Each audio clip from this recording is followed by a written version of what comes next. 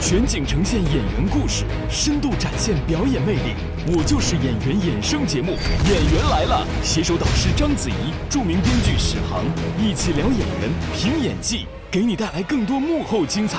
在这里，热门话题首次回应，热点事件逐一揭秘。最深的一点就是导演中间文笔对不上。子怡聊演员，感性讲述表演故事。我不喜欢背台词。所以拍古装戏的时候就很惨。史航有话说，理性评述行业幕后。七十多岁老太太跟几个初中同学约饭，更有最真实、最有趣、最感动的瞬间，一一捕捉。这个舞台，它是一个会让人发光发彩的地方。一切尽在今天二十二点，演员来了。